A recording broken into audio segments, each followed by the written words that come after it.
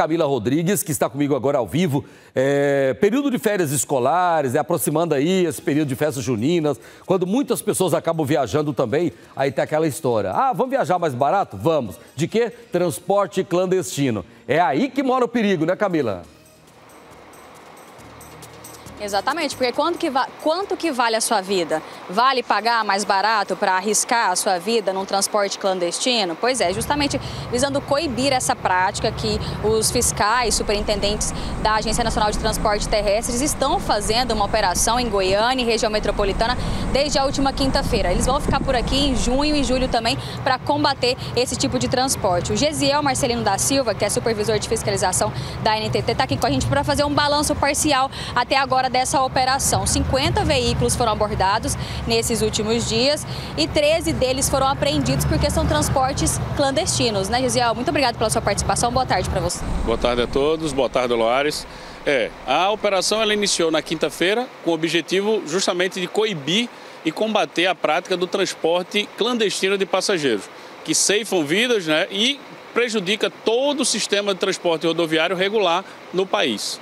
Agora, 13 foram apreendidos, né? E ah, outros também foram, inclusive, fiscalizados porque tinham outras irregularidades, né? Isso, foram até o momento, foram 13 veículos que foram recolhidos por realizar o transporte clandestino ao depósito da NTT e 15 veículos foram abordados e fiscalizados e tinham alguma irregularidade que puderam ser sanadas no local dentro da legislação. Sanadas essas irregularidades, os veículos foram liberados para dar continuidade à viagem que, que chama a atenção nesses veículos que foram apreendidos? O estado de conservação? O que, que a gente pode destacar aí de perigo para essas pessoas? É, as irregularidades são diversas.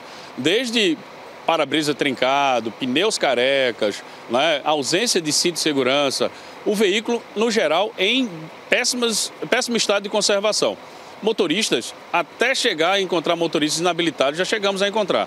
Motoristas sem o curso de capacitação, né? E um fato inusitado que a gente encontrou né, durante essas abordagens na operação foi um veículo que não tinha para-brisa e o condutor né, estava conduzindo esse veículo, vindo do Maranhão até Goiânia com o capacete. E o veículo estava cheio de passageiros. E aí a gente foi fiscalizar esse veículo, além dessa irregularidade, a gente constatou que o veículo também estava realizando transporte irregular e foi recolhido ao depósito. O que é que o motorista devia ter feito nessa situação?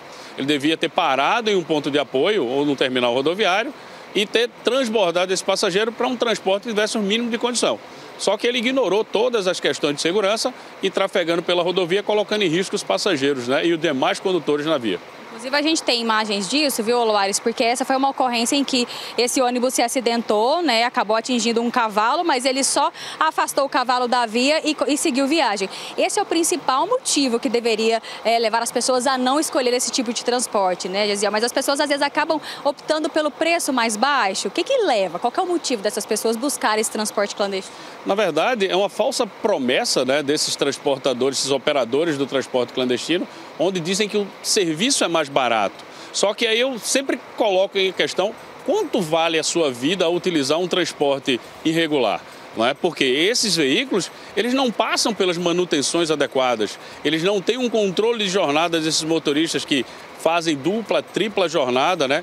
Tudo isso de forma irregular, utilizando vias vicinais, fugindo da fiscalização, IPVA atrasado, pneus carecas. Então, o usuário, ele tem que, aquele que insiste ainda em utilizar, tem que verificar que isso não vale a pena. Não é? Porque se um, um, um, veículo ele sai de um posto de combustível, se ele sai de uma praça, se ele sai de uma farmácia, qualquer lugar diferente de um terminal rodoviário, alguma irregularidade deve existir. Não é? Obrigada pela sua participação. Loares, tem alguma pergunta? É, eu queria só fazer um questionamento, Camila. Há um tempo eu estava conversando com uma pessoa é, ligada à NTT, me falando que tem muitas empresas que atuam como liminares, ou seja, é, mesmo sendo clandestino, eles conseguem uma autorização da justiça para continuar circulando. Isso ainda existe aqui em Goiás? O Lora está questionando que muitas empresas, mesmo sendo clandestinas, conseguem liminares na justiça para continuarem funcionando.